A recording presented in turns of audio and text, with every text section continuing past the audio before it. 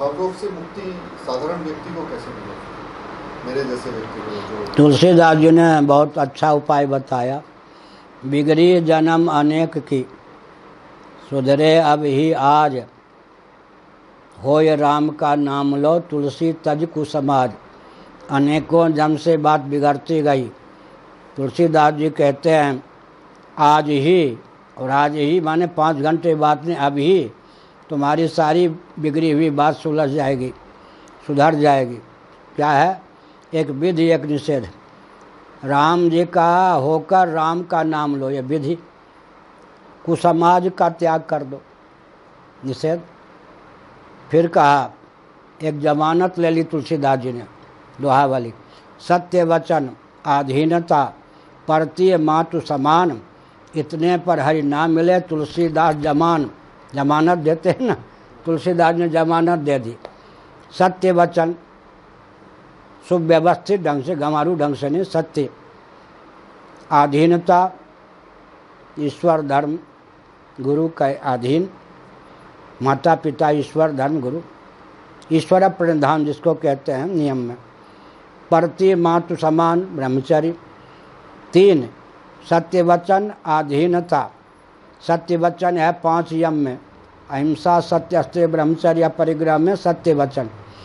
और शौच, संतोष तपस्वाध्याय ईश्वर प्रधान में से लिया क्या लिया? आधीनता, ईश्वर के शरणागति। होए होए राम का नाम लो। और परतीय मातु समान ब्रह्मचारी मर्यादा में अपनी पत्नी तक सीमित रहो। इतने पर हरि नाम मिले, तुलसीदास जवान। तुलसीदास कहते, मैं जमानत लेता हूँ। तुलसीदास जो जमानत लेते हैं फिर क्या है? राम जी थोड़े उस जमानत को रद्द करेंगे। हो गया?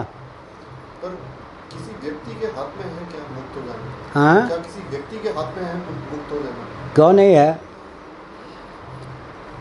आत्म कृपा शास्त्र कृपा गुरु कृपा ईश्वर कृपा एक चरण अपने हाथ में है या नहीं?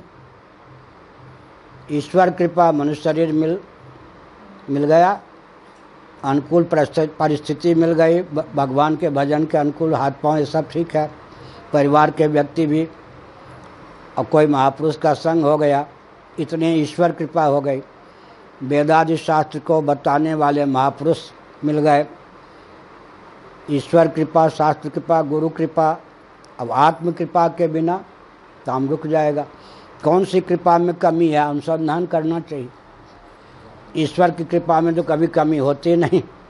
गुरुओं की कृपा में स्वार्थी गुरु गुरु नहीं होते। गुरु की कृपा में, शास्त्र की कृपा में कमी नहीं होती, आत्म कृपा से।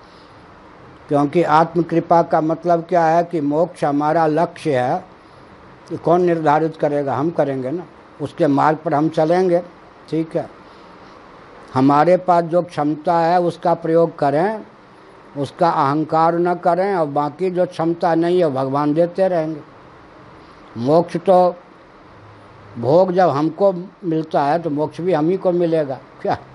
भोग के लिए हम जब प्रयास करते हैं तो मोक्ष के लिए भी हम ही को प्रयास करना पड़ेगा। ठीक? हो गया?